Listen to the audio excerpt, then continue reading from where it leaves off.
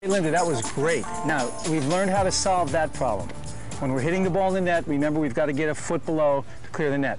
Okay, now the other bigger, biggest problem we have in tennis is we're hitting the ball long. How do we prevent that?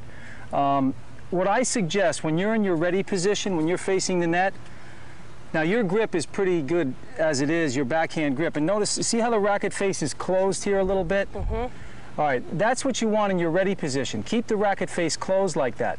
Now, as you bring the racket back, your backswing, what you do from this position here, go ahead, turn to here, is probably the most important part of your swing. If you keep the racket face slightly closed like that, now if you drop it down, step out a little bit as you go down, good.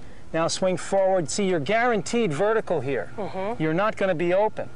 But remember, now, okay, come back to your ready position. See, you start out with it in this position, right? Okay, now go ahead, turn, keep it closed. All right, look at your racket. Still slightly closed, right? Mm-hmm. Okay, now you're guaranteed vertical at contact. If you come down, this is a foot below the contact point and swing up. Now, if you're hitting long, when you get to this point here, where's the palm of your left hand facing right now? Down. Down. Okay, so remember those two words, palm down. If your palm is down, that's going to prevent the ball from sailing long, okay? And also that backswing from the ready position. All right, so let's work on your backswing. I want you to think of a couple of things. Let's think about keeping the face closed, face closed, and palm down. Okay. Okay? All right, here we go. We're thinking face closed and palm down. Okay, so close up the face a little bit. Good. And palm down. Okay, good.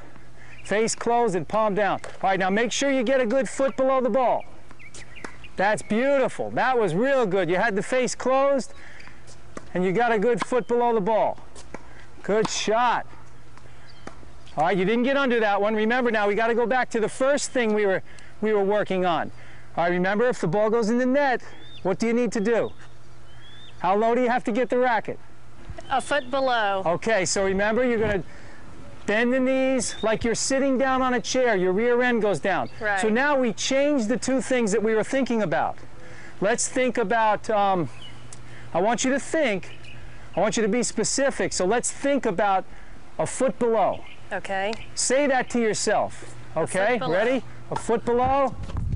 Okay, good. See, you're clearing the net right away. Very good. Two in a row. Give me four. Three, one more.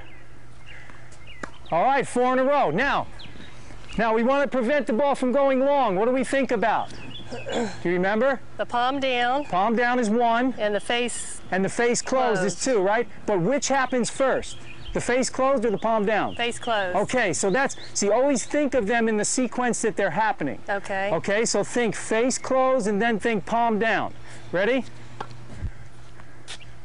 Beautiful, that's the idea. I'm sorry. Good get, Linda. That's it. You got it. Go up. Good shot. Okay, off the back foot. That was good. I like that because you were leaning back and you realized, hey, I better hit it high and hard. Right. And that's what you want to do when you have to go back like that. Here we go.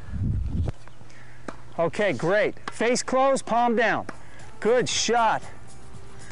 Notice at this point the racket face is closed and the palm of the left hand is facing down. Remember, this prevents shots beyond the baseline.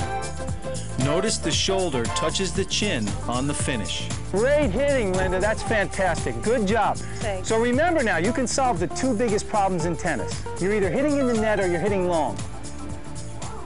All right, I'm going to ask you now. Pressure's on, Linda. if you're hitting in the net, what do you need to do? If you're hitting into the net, Remember, how low do you have to get the racket? uh, foot below. That's it. So you've got to bend more. Remember, think of sitting down on that chair. Right. Okay? Now, if you're hitting long, what have you got to do? You have to uh, racket closed, palm down. Right. Face closed, palm down. Very good. Remember those points, and I'm telling you, you're going to get more and more consistent. You won't miss a ball anymore. Okay, good. Okay, very good.